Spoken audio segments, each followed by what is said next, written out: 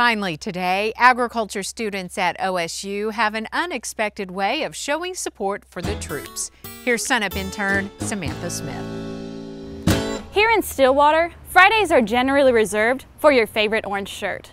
However, in an effort to support the U.S. troops, the Agricultural Communicators of Tomorrow began Red Shirt Orange Friday, an event that allowed them to support both. Because OSU is so big on wearing orange on Fridays, we were very disappointed because we wanted to sort, support both, and we thought, wow, how could we do that? And Red Shirt Orange Friday is the result of that. It's a way to show our support of the troops and still be Cowboy fans on Friday. To raise money, the group began selling t-shirts. We did only about 20 shirts the first time. And then we figured out everybody wanted a shirt like ours, and we thought, well, we don't want to make money for ourselves. So when we sell a shirt, the profits come back and then it helps us send um, care packages or other items to the troops. The reason we pick red and not blue is because it's a national movement and red is significant of remembering everyone deployed.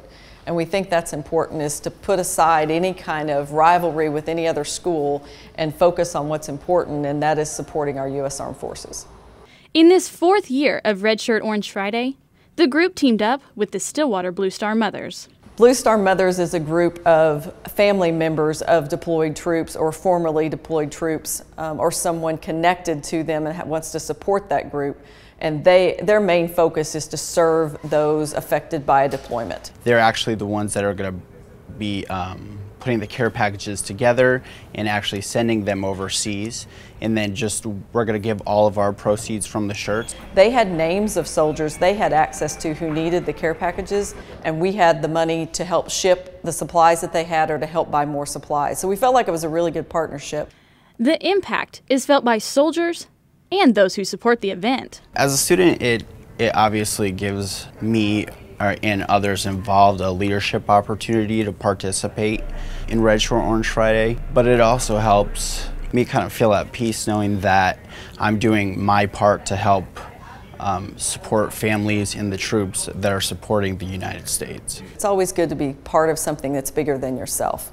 And one person individually can't do much about what's going on in Afghanistan or in other parts of the world, but regardless of whether we agree with the battles or the, the wars that we fight, I think we all believe in the people we send to represent us and to keep us free. And I think that when you participate in Red Shirt Orange Friday, you're showing that not only are you a Cowboy fan, but that you are a citizen and, and a believer in what this United States stands for. To learn more about next year's Red Shirt Orange Friday, Visit our link at sunup.okstate.edu.